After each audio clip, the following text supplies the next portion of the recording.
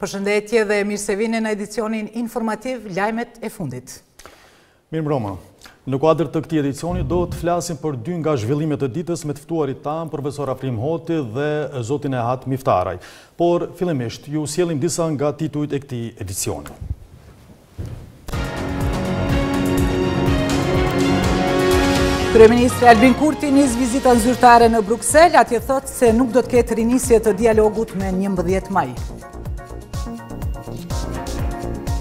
Komisioni parlamentar vendos që KOSTT-i të paguajë rrymën për veriun edhe për 6 muaj, opozita e kundërshton këtë vendim. Shpenzimet e mbrojtjes për të akuzuarit e specialës do t'jen publike, udhëzimi nënshkruhet nga Ministria e Drejtësisë. Vazhdon të thellohet kriza epidemiologjike në Indi, mbi 200.000 persona tashmë kanë humbur betejën me Covid.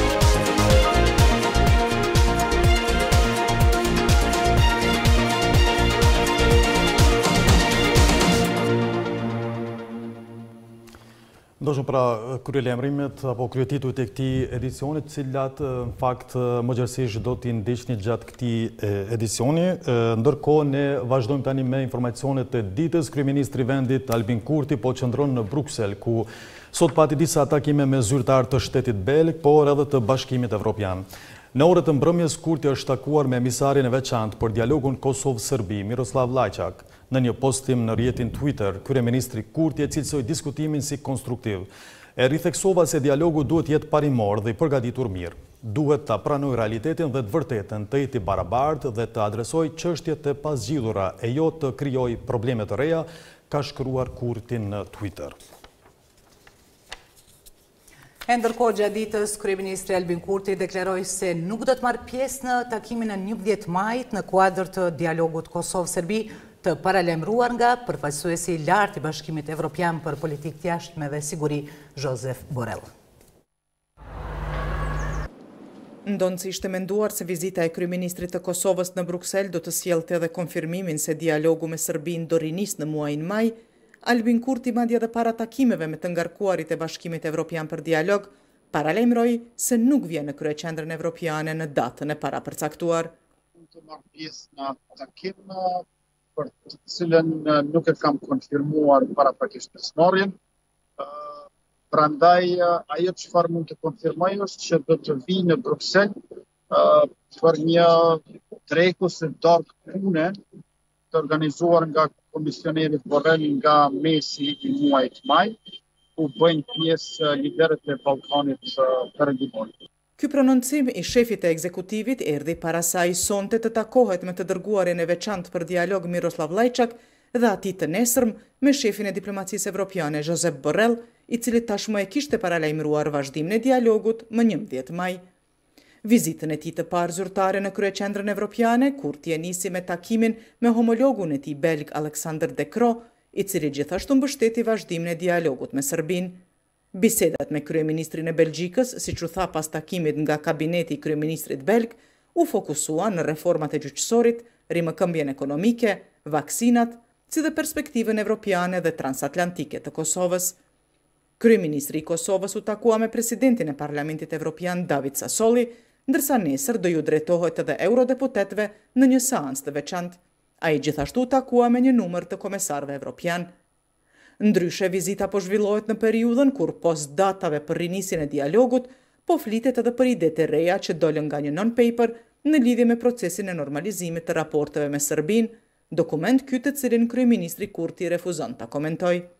Unë besoj që të gjithë këtyre non-paperave, më së miri është t'u përgjigjemi me no koment, për shkak se përmes përgjigjeve po përpiqen që të marrin jetë, në kohë që nuk dihet autori dhe as synimet, por pasojat nuk mund të jenë të mira, Nuk mund të lejojmë as ringjalljen e projekteve të dështuara për shkëmbim territorial dhe as të atyre për poshtësimin e Kosovës. Kryeministrin Albin Kurti nesër e pret presidentja e Komisionit Evropian Ursula von der Leyen, shefi i diplomacisë evropiane Josep Borrell, si dhe sekretari i përgjithshëm i NATO-s, Jens Stoltenberg. E për këtë çështje tani do të mësojmë se cilat janë reagimet në Beograd pas deklaratës së kryeministrit të Kosovës Albin Kurti se me 11 maj nuk do të ketë vazhdim të dialogut për të mësuar më shumë ne me siguri që tani do të lidhemi me kolegen Anën. Përshëndetje Ana. Përshëndetje. Sigurisht pati edhe reagime në Beograd pas deklarimit të kryeministrit Kurti. Ishte presidenti Vuçiç, por kemi edhe reagime të tjera? Po, është, Vuçiç ka reaguar, por para deklaratës së Kurti, në fakt ka reaguar disa minuta para se të dëgjojmë deklaratën e Kurtit që ai në fakt refuzon për të marrë pjesë në rifillimin e dialogut me njëmbëdhjetë maj, Presidenti i Serbisë Aleksandar Vuçiq ka deklaruar se ai është i ftuar në takim dhe nëse mbahet ai do të shkon e nëse nuk mbahet ai do të bën diçka tjetër gjatë ditës dhe tha do të kem një problem më pak. Në reagimin e tij pas vendimit të Kurtit, pas deklaratës së Kurtit, Drejtori në fakt ndaj nga zyrtarëve ka reaguar deri tani vetëm drejtori i Zyrës së Qeverisë Serbe për Kosovë, Petar Petkoviq, i cili tha se çështja e dialogut nuk është aspak në agjendën e Kurtit, i cili sipas tij as që nuk është interesuar për dialogun e as për kompromisin. Sipas Petkoviqit, Kurti me sjelljen e tij ndaj dialogut e poshtroi Bashkimin Evropian në selinë e saj në Bruksel. Amandej Petkoviq ka bërë pyetje çka do të ndodhte nëse Beogradi do të refuzonte dialogut.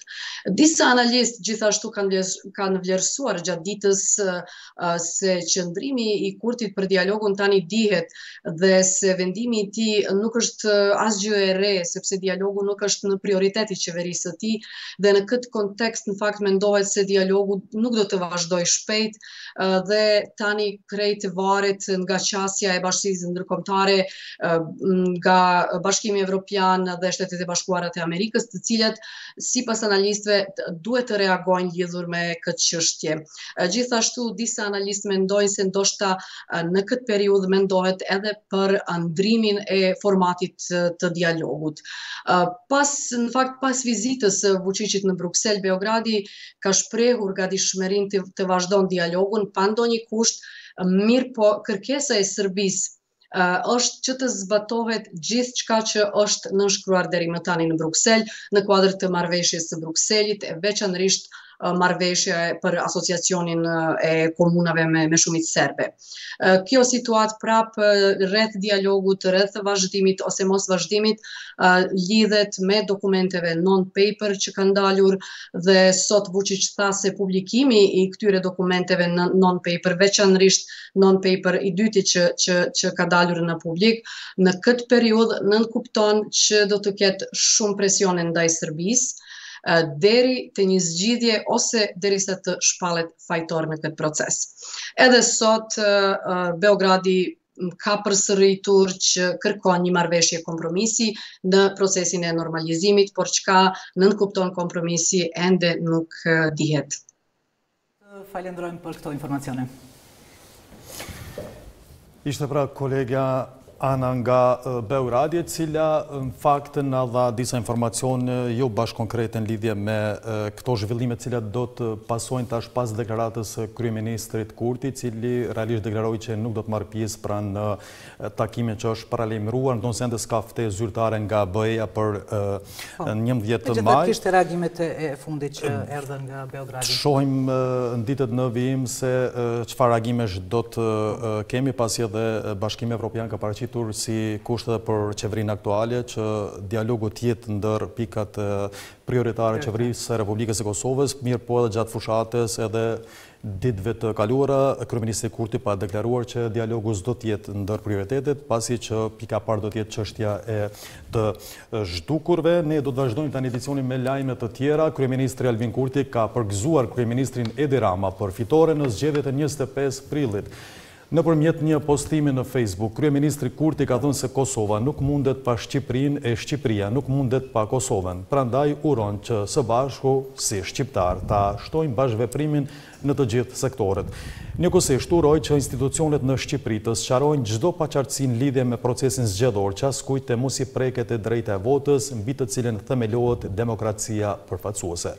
Këto janë pritshmëritë e shqiptarëve andaj të punojmë së bashku ka përfunduar kryeministri Kurti.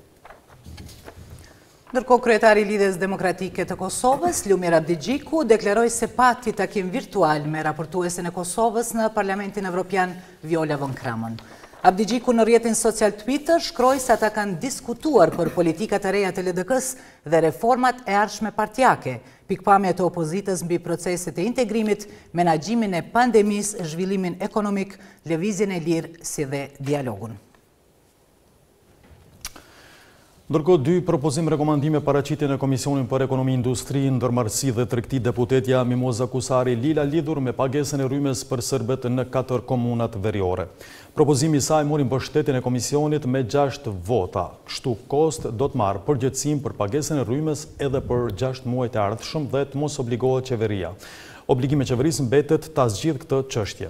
Drejtuesit e KOSTT-it thanë se kanë mjete të mjaftueshme nga të hyrat e tyre për pagesë vetëm që të ruajnë anëtarësimin me rrjetin evropian të transmisionit të energjisë.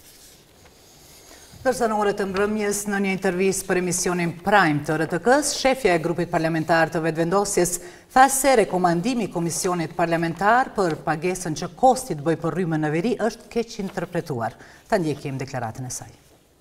Ne tash ballafaqohemi me dy elemente. Elementi i parë është fakti që Kosova rrezikon subjektivitetin e vet në raport karshi partnerëve ndërkombëtarë, për arsye se kemi insistu me u pavarësu në aspektin energjetik, kemi kërku me qenë pjesë e ENTSO-isë, por gjithashtu edhe është elementi i humbjes seriozitetit një ndërmarrje siç është Kosti, e cila ka operu dhe operon me një sukses të vazhdueshëm. Çka kemi kërku ne sot? Kemi kërku që Kosti të marrë përsipër faktikisht të bjerë secilin muaj para komisionit tonë, të tregojë devijimet të cilat ndodhin dhe të tregojë mënyrën se si do të jetë, a është më mirë të blejë energji, cilën do e fut në rrjet, domethënë këtë energjinë e cila konsumohet, apo do të mund të kryejë pagesa, por jo më gjatë se gjashtë muj, periudhë kjo cilën ia kemi dhënë qeverisë që të vijë dhe domethënë të vijë në zgjidhje bashkë me të gjithë aktert, domethënë tjertë, sipas rregullave në fuqi, që të fillojë faturimi. Pak lutem, a mund ta sqarojmë? Po. Këto para që do t'i merr Kosti, gjithsesi do t'i merr. Si merr Kosti, Kosti i ka ato para. I ka. Këto janë mjete të akumuluara në Kost. Në Kost, çe kush ja ka dhënë ato para Kostit? I ka marrë nga tregtimi, nga operatorë të ndryshëm. Domethënë se secili operator i ka matësit e vet të hyrje daljes së energjisë dhe në momentin e shfrytëzimit të rrjetit, ato para kanë mbetë. Ato para janë dividendë ose janë të hyra që mbesin te Kosti? Mirë, a detyrohet Kosti të paguajë me ato para rrymen e shpenzuar në veri? Po, Kosti nëse e blen rrymen, jo të shpenzuar në veri, Kosti tash blen paraprakisht, se e din sa është konsumi i përgjithshëm, se Kosti mat kufijtë, domethënë për tërë territorin e Kosovës, përfshi edhe katër komunat e veriut. Në raport me të pjesën tjetër, ku ka faturim dhe dihet që kthehet në vlerë monetare, në veri nuk kthehet. për këtë periudhë kohore. Prandaj në këtë periudhë ata e blejnë sasinë e energjisë dhe futin në rrjet, që do të jetë më e lirë se sa të paguhet fatura në fund, për arsye se të blehet energjia sot për tre muajt e ardhshëm ose të alokohet në treg do të jetë shumë më e lirë se sa që qeveria të vendosë një shumë siç ka ndodh për shembull vitin e kaluar se kanë qenë rrethana të jashtëzakonshme. Ndërkohë i menjëhershëm ka qenë reagimi i partive opozitare të cilat kanë kundërshtuar vendimin për pagesën e energjisë elektrike në veri të vendit duke thënë se Kost është aset i qytetarëve të Kosovës, prandaj e njëjta bëhet nga xhepi i qytetarëve të vendit. Partia Demokratike e Kosovës përmes një konference për media tha se nuk pajtohet që miliona euro të shpenzohen për t'ua paguar rrymën qytetarëve serbë në veri. Qeveria Kurti një dhe Qeveria Kurti dy po ndajnë rreth njëzet e një milionë për pjesën e strukturave veriore për dhjetor dy mijë e njëzet dhe dhjetor dy mijë e njëzet e një, pra nga buxheti i konsoliduar dhe i taksapaguesve të Kosovës. Andaj, edhe si grup parlamentar, ne kemi filluar fillimin e nënshkrimeve, mbledhjes së nënshkrimeve për thirrjen e një seance parlamentare në interpelancë, praktikisht ministren e Ekonomisë, për të definu saktë rrjedhën e kësaj ngjarje të rëndë financiare për vendin. Edhe Lidhja Demokratike e Kosovës përmes një postimi në Facebook ka kundërshtuar po ashtu këtë propozim duke thënë se KOSTT është aset i qytetarëve të Kosovës prandaj e njëjta bëhet nga xhepat e qytetarëve të Kosovës. Për më tepër brenda këtyre gjashtë muajve qeveria Kurti do të obligohet që përmes rishikimit buxhetor t'ia kthejë këto mjete KOSTT-it. Pra pavarësisht nëse sot paguan KOSTT e pas gjashtë muajsh paguan qeveria, paratë dalin nga pasuria e qytetarëve të Kosovës. Ky vazhdim pagese tregon po ashtu se qeveria nuk ka plan të qartë për dalje nga kjo situatë, thuhet në reagimin e LDK-së. Reagim për këtë situatë pati edhe nga Aleanca për Ardhmërinë e Kosovës, përpos dëmit financiar në buxhetin e vendit, i cili ndërtohet me djersën dhe kontributin e shumicës prej nesh, nga ky veprim kemi një zinxhir të dëmeve të tjera, thuhet në reagimin e tyre. Aleanca për Ardhmërinë vlerëson se ky është një zhvillim i tmerrshëm në një kohë pandemie, kur buxheti dhe ekonomia familjare e njerëzeve që e duan Kosovën po sfidohen. Komisioni Parlamentar për Buxhet ka miratuar programin e shpenzimeve të Radio Televizionit të Kosovës për periudhën janar-mars 2021, si dhe ndarjen e mjeteve buxhetore për periudhën prill-qershor. Kryetari i Bordit të Radio Televizionit të Kosovës, Sali Bashota tha se RTK ka shumë borxhe të trashëguara, derisa përgëzoi menaxhmentin që ka arritur t'i ulë shpenzimet dhe t'i shlyejë borxhet. Anëtarët e komisionit patën pyetje për drejtuesit e televizionit publik, duke marrë përgjigje për çështjet e ngritura. Komisioni për Buxhet dhe Transfere njëzëri miratoi projeksionin e shpenzimeve të Radiotelevizionit të Kosovës për periudhën prill-qershor dy mijë e njëzet e një. Para votimit të raportit kryetari i Komisionit Armend Muja, mes disa pyetjeve kërkoi sqarime nga kryetari i Bordit dhe drejtori i Përgjithshëm i RTK-së. Asht në përputhje. Ky projeksion financiar asht në përputhje në shuma dhe kategori të shpenzimeve me projeksionet që ia kemi dërgu Kuvendit në vitin dy mijë e njëzet e një, mbi të cilin e ka miratu Ligjin për Buxhetin. Për këtë drejtori i Bordit të RTK-së Sali Bashota, tha se ky raport për këtë periudhë është i saktë dhe me sqarime shtesë.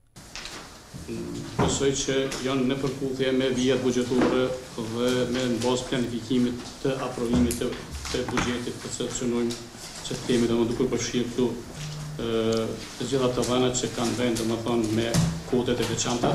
Drejtori i Përgjithshëm i RTK-së Ngadhnjim Kastrati, tha se projeksioni i shpenzimeve është aprovuar në bord dhe nuk mund të ndryshohet. Ne planin buxhetor e përgatitim për një vjet. Ajo që kemë ba është që e kemë da në katër kuartale secilin vit. Kemë thanë që në një periodë mujnë të paguajnë më shumë, në periodën tjetër mujnë më shumë, për shkak se ky projekcion është aprovuar në bord. Nuk mundet të ndryshojë. Kastrati i është përgjigjur kryetarit të Komisionit Muja se pse nuk ka përputhje të kategorive në projekcion dhe raport buxhetor. Po e para, po unë po vazhdoj te, pasi është ngjarje shumë e madhe, Tokio dy mijë e njëzet është shtyrë për këtë vit, domethënë lojërat evropiane të cilat i kemi, na janë shtyrë, domethënë për shkak të pandemisë vitin e kaluar, dy mijë e nëntëmbëdhjetë, domethënë të gjitha janë shtyra për vitin dy mijë e njëzet. Anëtarët e këtij komisioni kanë pyetur në lidhje me auditimin në RTK, hapet thirrje publike për auditim të pasqyrave financiare apo ju i përzgjedhni në bazë të njohurive që ju i keni? Më intereson ta di që auditimi që është bërë në vitin dy mijë e njëzet është i kualifikuar apo i pakualifikuar dhe sa çështje janë në theks të veçantë. Kërkesë konkrete ime është që ju të kërkoni zyrtarisht prej Zyrës Kombëtare të Auditimit që të vijë dhe të ju auditojë. Në të gjitha pyetjet ata morën përgjigje nga drejtori i përgjithshëm i RTK-së Ngadhnjim Kastrati. E shoh shumë absurde me vendos ne me të leju apo me ne auditorin me ardh. Domthon unë e kem thonë edhe në mbledhjet e kalume, e kem thanë edhe në temat që i kem përgatit. Ne jemi të hapur për çdo çështje që ka të bëjë apo me hetim, apo me auditim, vetëm të respektohet ligji. Avdullah Hoti nga LDK-ja tha se financimi i RTK-së duhet të bëhet përmes qytetarëve, në mënyrë që të ketë pavarësi editoriale. Bëjmë fjalë për një televizion publik. Përvojat ndërkombëtare dhe standardet evropiane janë që këta financohen me para publike, po ato para publike nuk duhet të kalojnë as përmes buxhetit të shtetit. Drejtori i Bordit të RTK-së ka kërkuar miratimin e ligjit për RTK-në. dhe kushte më të mira për punëtorët e mediumit publik. Komisioni për Buxhet, Punë dhe Transfere po ashtu ka miratuar raportin për shpenzimet e Radio-Televizionit të Kosovës për periudhën janar-mars. Ministrja e Drejtësisë Albulena Haxhiu tashmë ka nënshkruar ndryshimin e udhëzimit administrativ që lejon të publikohen shpenzimet për avokatët e të akuzuarve në Hagë për secilin nga të akuzuarit veç e veç. Kjo ishte e ndaluar pas një vendimi të ish-kryeministrit Ramush Haradinaj që të dhënat të kualifikohen si konfidenciale. Në Organizatën e Veteranëve të Luftës e kundërshtojnë një gjë të tillë. Shumë shpejt, kushdo që është i interesuar, do të ketë qasje në shumat e parave që ndan Ministria e Drejtësisë për të akuzuarit në Hagë. Ndryshimi i udhëzimit që e ndalonte publikimin e shumave është nënshkruar dhe shumë shpejt do të nisë publikimi i shpenzimeve për secilin nga avokatët dhe të akuzuarit veç e veç. Kështu deklaroi për RTK-në Genc Nimoni, shef i kabinetit i ministres së Drejtësisë. Kjo është e rëndësishme për faktin se buxheti është publik, paraja është publike dhe natyrisht që publiku dhe të tjerë të interesuar kanë të drejtë të dinë se ku janë të shku ato pare. Do të thotë do të jenë publike, mirëpo merr tash një kohë, është nënshkru dhe merr një kohë shtatë ditë nëse s'gaboj derisa të hyn në fuqi. Publikimi i shifrave të shpenzimeve ishte ndaluar me udhëzimin administrativ të vitit dy mijë e njëzet, ku të dhënat klasifikoheshin si sekrete. Kjo duke u bazuar në vendimin e ish-kryeministrit Ramush Haradinaj të janarit dy mijë e nëntëmbëdhjetë. Por kundër këtyre ndryshimeve që lejojnë qasje në shpenzimet e avokatëve janë shprehur nga organizata e veteranëve të luftës.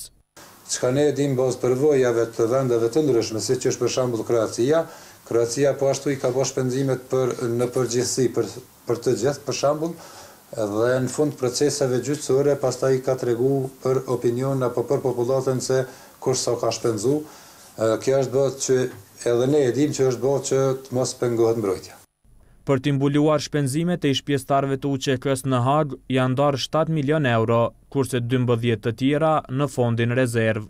Deri më tani publikimi i shpenzimeve është bërë vetëm në total për të gjithë avokatët.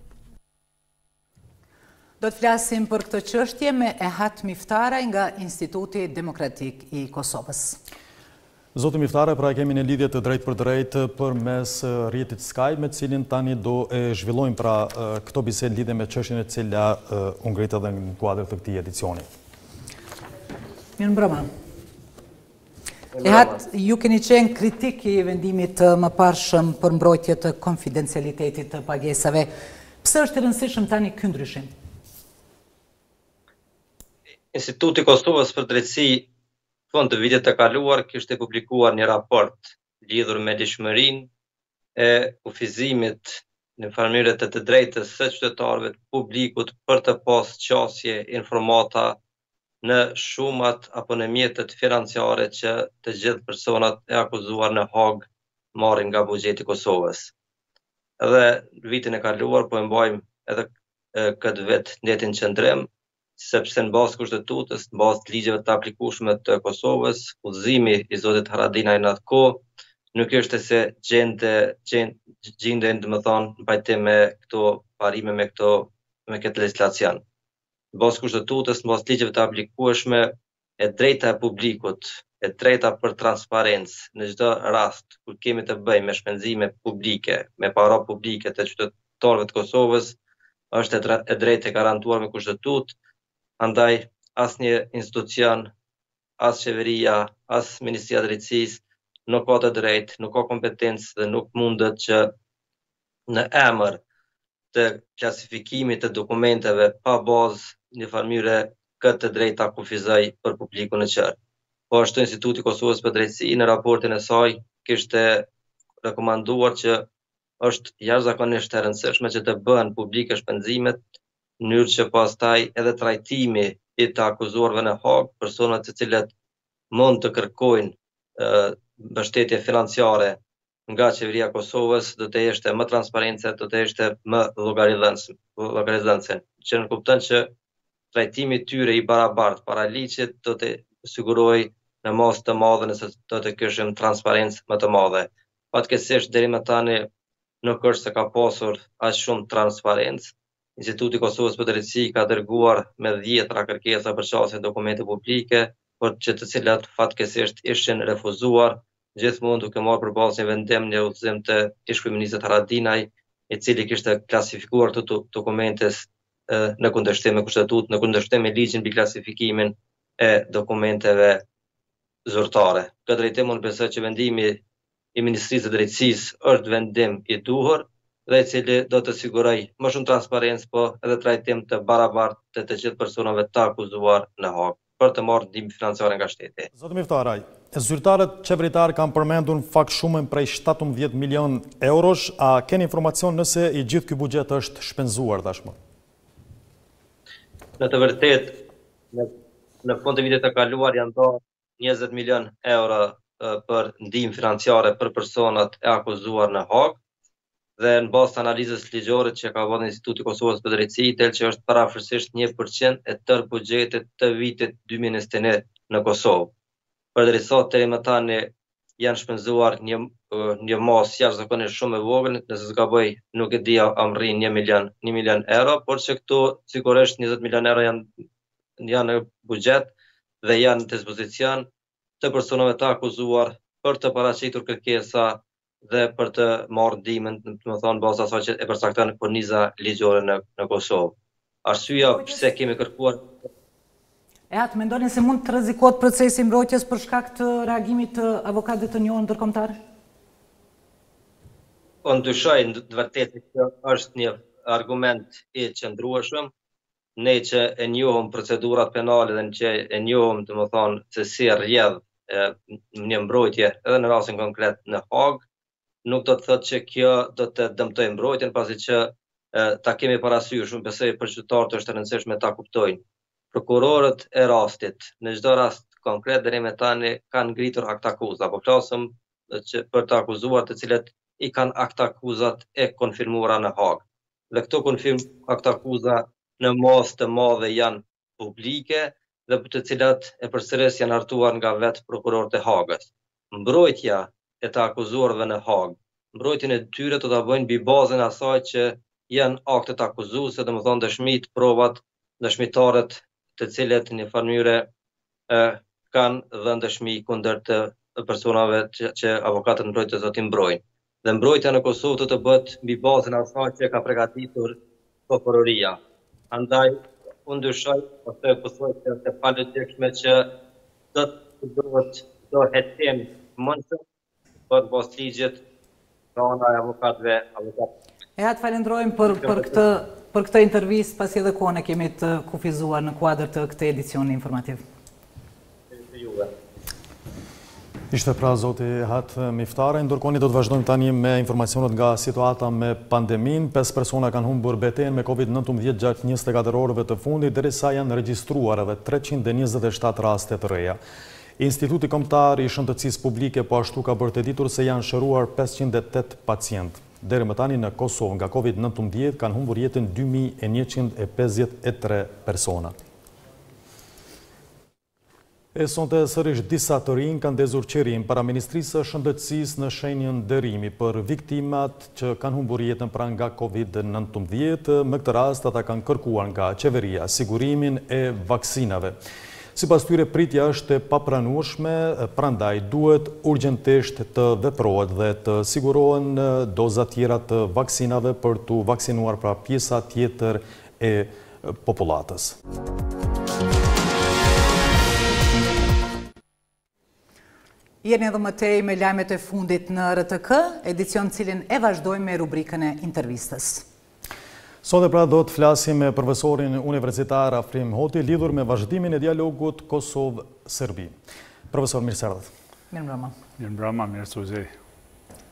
Alan?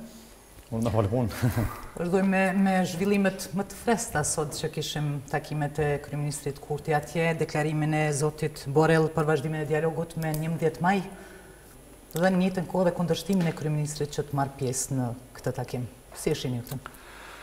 Po parimisht ndodhi ajo e cila priteshte, sepse në të dyja kahjet, ose në të dyja anët e këtij konflikti, praktikisht kemi tashmë pushtete të konsoliduara, në Serbi një pushtet të fuqishëm nga presidenti Vuçiq, sikundër që edhe legjitimitetin e plotë nga kryeministri Kurti dhe Lëvizja Vetëvendosje, Dhe pas konsolidimit të institucioneve, parimisht ishte e pritur edhe nga autoritetet evropiane, po edhe nga akterë të tjerë, madje edhe nga vetë serbët dhe kosovarët, që procesi i dialogut të vazhdojë, sepse kjo tashmë është një tematikë e cila është paraqet praktikisht rrugë njëkahëshe, njëdrejtimëshe, është e paalternativë në këtë pikë, dhe se autoritetet evropiane praktikisht synuan që në momentin e parë të mundshëm që të të rifillojnë këtë dialogim.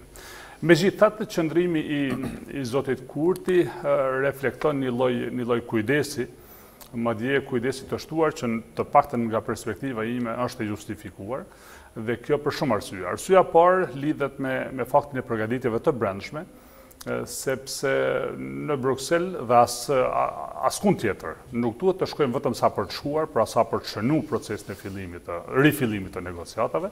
Pra paraprakisht këtij procesi do duhej t'i printe një një sërë veprimesh dhe përgatitjesh të brendshme, dhe këtu flasim për proces jashtëzakonisht të komplikuar politik, ku roli i Kuvendit është evident. dhe se qeveria aktuale nuk ka ndonjë ndonjë platformë të caktuar. Po, me gjithë justifikimin e palës tonë në këtë rast, çfarë pritni se mund të ndodhë tutje? Unë mund të pres që dialogu, domethënë, të merr formë, ashtu siç të dyja palët tashmë janë janë dakordu. Ne po flasim vetëm për refuzimin e kryeministrit kosovar për t'u takuar me zotin Vuçiq, por në asnjë mënyrë për ta për ta ndërprerë procesin e dialogimit, sepse vetë prezenca... Do të takohet pra edhe me liderët e Ballkanit Perëndimor, por jo me zotin Vuçiq. Ideja është vetë prezenca e kryeministrit kosovar në Bruksel, shënon vazhdim të dialogut, sepse dialogu mund të vazhdojë në modalitete të ndryshme, nuk është e thanë pra që të jenë vazhdimisht in persona, pra fizikisht dy akterët kryesorë, porse ajo që shihet si pozitive, është fakti që tashmë kemi institucione legjitime në të dyja anët, në të dyja pozicionet dhe gjithsesi pritet që një proces i tillë të vazhdojë me ritëm të përshpejtuar dhe zhvillimet aktuale praktikisht sinjalizojnë që po i afrohemi një fundi dhe një fundi shumë të ndjeshëm dhe dhe definitivisht shumë të rëndësishëm. Profesor, a ishte mendoni mungesë koordinimi i datës apo diçka tjetër çfarë e ka shkaktuar këtë mungesë të koordinimit? Po parimisht këto informacione sigurisht unë nuk i kam, i ka kryeministri në mënyrë në mënyrë më të më të detajuar, sido që të jetë agjenda dhe caktimi i datës bëhet pas pas diskutimeve dhe dhe koordinimeve paraprake. Në këtë rast Bashkimi Evropian sigurisht do të duhej t'i t'i kishte në kontakt të dyja palët për të vendosur definitivisht atëherë kur kanë marrë pëlqimin ose konfirmimin nga të dyja për ndodhjen e e takimit. Sido që të jetë, unë nuk e di nëse kjo ka ndodhë vërtet, por përtej këtyre aspekteve teknike dhe koordinimeve, mendoj që ka dhe probleme të tjera të cilat duhet marrë në konsideratë, dhe siç e thashë pak më herët, e para është përgaditja jonë e brendshme, e dyta është përvoja e deritashme, sepse siç dihet, fatkeqësisht duhet të konstatojmë faktin që procesi i dialogimit deri me tani Për për Kosovën ka qenë absolutisht në terma shumë minimal, domethënë ka ka sjellur sukses, ndërkohë që ka shërbyer si levë kusuritje për Serbinë në rrugën e saj ka ka për ecjen në Bashkimin Evropian. E treta, është çështja e, e një përgatitjeje vërtet serioze, sepse po flasim për, për përfundimin, për epilogun, për, për finalen, dhe një takim të tillë duhet të patjetër ta, ta përgatisim mirë, dhe e katërta, Duhet të flasim edhe pak për kredibilitetin e Bashkimit Evropian, sepse deri me tani vërtet pozicioni i Bashkimit Evropian në veçanti kundrejt Kosovës ka qenë i brishtë dhe se...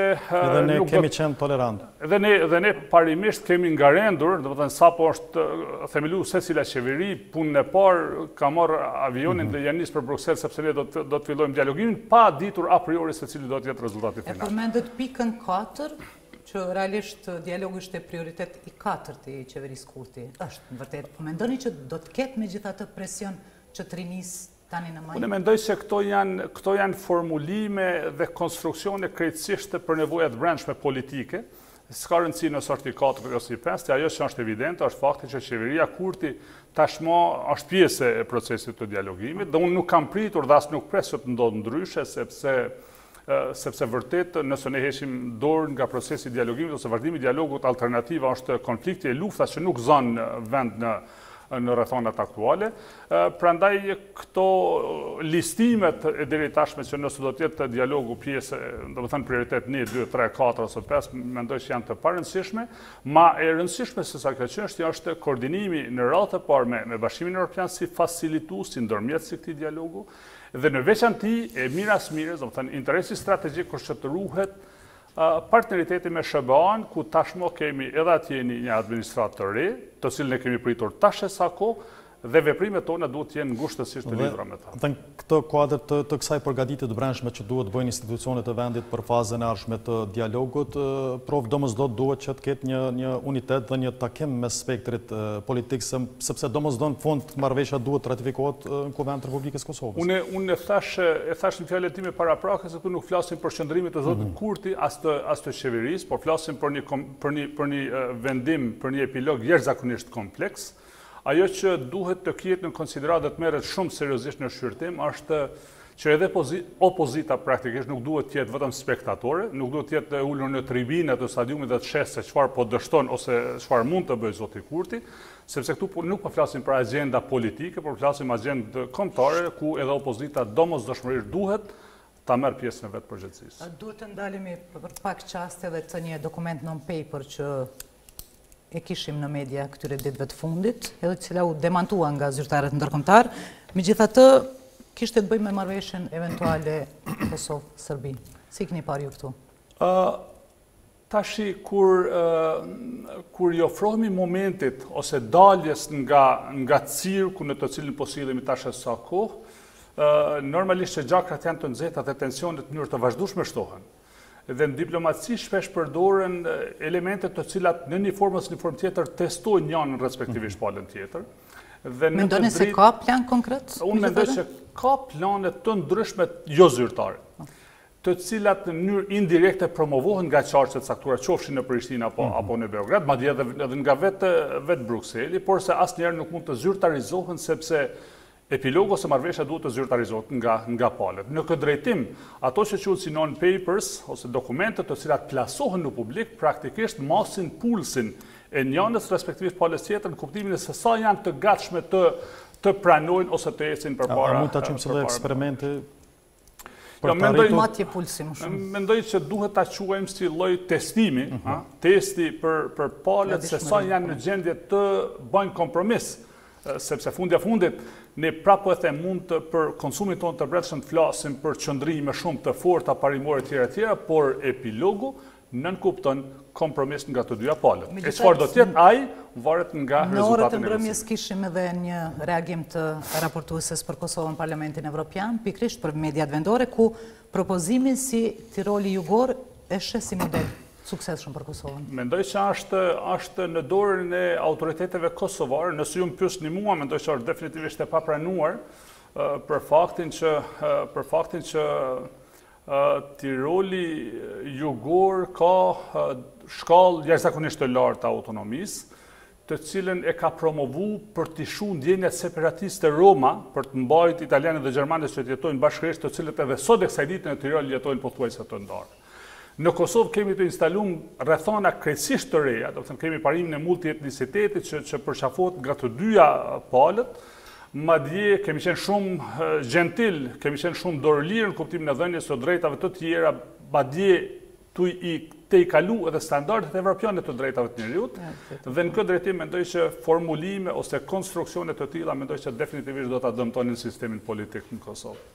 Ndonëse pra ka përpjekje është thënë disa herë dhe gjatë viteve të kaluara që dialogu po shkon drejt përfundimit, më parë edhe vetë presidenti Aleksandër Vuçiq ka thënë se nuk do të ketë marrëveshje para zgjedhjeve në Serbi, pra para prillit të vitit dy mijë e njëzet e dy. A do të thotë se dialogu megjithatë nuk do të ketë ndonjë përkufizim kohor? Po tash ose e ka përdor për konsum të brendshëm, qysh ashtu si ka vepruar. Unë po them sot sot lexova pak nga mediat e Beogradit dhe nëse nëse citohet presidenti Vuçiq është vërtet për të ardhur keq, sepse të paktën ajo që plasohet në publik është gjithmonë dekurajuese.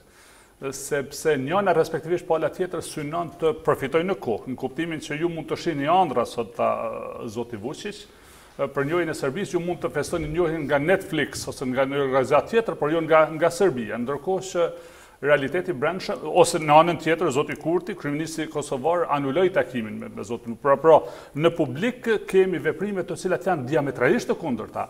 Por synimi i tyre është që të përfitojnë masën ma të madhe të mundshme në mënyrë që kur ulen në tryezë të bisedimeve të kanë terren ma të ma të përshtatshëm. Sido që të jetë unë mendoj që është moment i i i volitshëm kohor sepse kemi elita të konsoliduara politike në Shtetet e Bashkuara të Amerikës, në Bashkimin Evropian, në Serbi dhe në Kosovë. Prandaj nëse ka vullnet për ta për ta përmbyll, domethënë një, një proces për të cilin po flasim tash e sa kohë, nëse ka minimum të vullnetit, atëherë mendoj se janë rrethanat e favorshme tash. Në të kundërtën ne rrezikojmë që të mbetemi konflikt i ngrirë edhe ta bartim nga një vit në vitin tjetër. Profesor, flasim pak për qasjen e, e dialogut. A ka qasje të unifikuar BE-SHBA? Unë mendoj që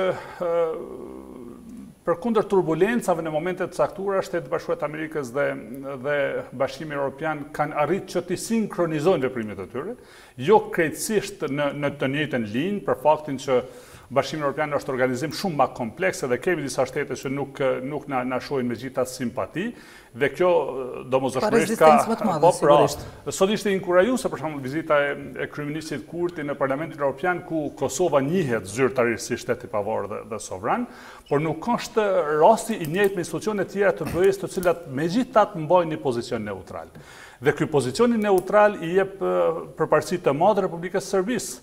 sepse nëse nëse Spanja në mënyrë të vazhdueshme bllokon procesin e dialogim, më fal, bllokon procesin e njohjes, bllokon procesin e integrimit të Kosovës në organizata të tjera përfshirë edhe BE-në, që në fakt i jep i jep terren shumë të përshtatshëm Republikës së Serbisë për të vazhduar diskursin e saj. Sikur të ishte situata ndryshe që të kishim një një një qasje krejtësisht të unifikuar edhe të BE-së sikur SHBA, Mendoj se situata do të ishte shumë më pozitive. Kemi, jemi drejt po, fundit. Minutat, jemi minutat e fundit, profesor, shpesh është folur për kompromis në fakt këtë proces çfarë mund të nënkuptojë kompromisi, sepse jo në diçka të paktën në një mendim ka qenë pozitë e opozitë gjatë gjithë kohës, kur kanë thënë që Kosova mjaftueshëm ka bërë kompromis sa i përket Pakos së Ahtisaarit. Unë definitivisht, definitivisht diskutojmë pothuajse edhe në diskursin e përditshëm dhe në diskutimin tonë të përditshëm për, për të drejtat e njeriut, për standarde mhm. shumë të larta evropiane dhe pa asnjë diskutim, në dritën e të drejtave të njeriut nuk mund të gjendet një vend në BE që edhe në kuptimin formal nuk ka plotësuar të drejtat e njeriut dhe të drejtat e minoriteteve më shumë sesa Kosova për për serbët dhe për minoritetet tjera. Sido që të jetë, sido që të jetë, mendoj që kur ulemi në tryezë të bisedimeve, patjetër duhet të kemi parasysh faktin që duhet të japim diçka, se çfarë do të jetë ajo, vërtet, vërtet tingëllon si spekulative, mund të flitet për ndonjë status eventual të, të veriut të Mitrovicës, mund të flitet për, për formimin e asociacionit të komunave serbe me kompetenca, me kompetenca ekzekutive, ose për atë, për atë planin që Zoti Vuçiq në qarqe të ngushta ka përmend pothuajse se në vazhdimësi që ndryshimi i Kushtetutës së Republikës së Serbisë, respektivisht preambulës serbe, do të bëhej paralelisht me me krimin e Asociacionit të Komunave Serbe me kompetenca ekzekutive që nënkupton që këto kompetenca që ishin për serbët në Kushtetutë, të barteshin në statutin e komunave serbe, me ç'rast edhe pushteti në Beograd do të arsytoheshte se ne e hoqëm Kosovën nga nga preambula, por në të njëjtën kohë këto kompetenca i bartëm në një po. statut i cili do të jetë bazë për qeverisjen tuaj të ardhshme. Shkurtimisht, profesor, cilin e shihni ma të rrezikshme prej këtyre dy opsioneve? Që të dyja, sepse të dyja dhe çfarëdo plani që, që dëmton në palcë ose në esencë funksionimin normal të sistemit politik në Kosovë, mendoj se duhet të jenë të të papranueshme. Çfarëdo që lidhet me të drejtat e njerëzit, mendoj se autoritetet tona të paktën është bindja ime, mund të jenë gjentil dhe të japin sepse fundja fundit ato janë vlera universale. Profesor, të falenderojmë për bisedën. Ishte kënaqësi, faleminderit shumë juve. Faleminderit shumë për prezencën, prof. Me këto pamje pa koment erdhëm në fund të edicionit Lajmet e fundit, në emër të ekipit realizues, sigurisht ju falënderojmë për vëmendjen tuaj. Natën e mirë dhe takohemi sërish nesër në të njëjtën kohë. Natën e mirë.